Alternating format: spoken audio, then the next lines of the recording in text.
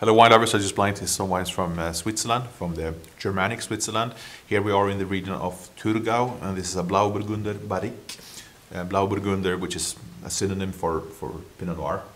And I think this example from 2013 is uh, a fine example of uh, lighter styled Pinot Noir. I like the perfume already with the floral notes, the red berries, the mild spices like ginger and clove.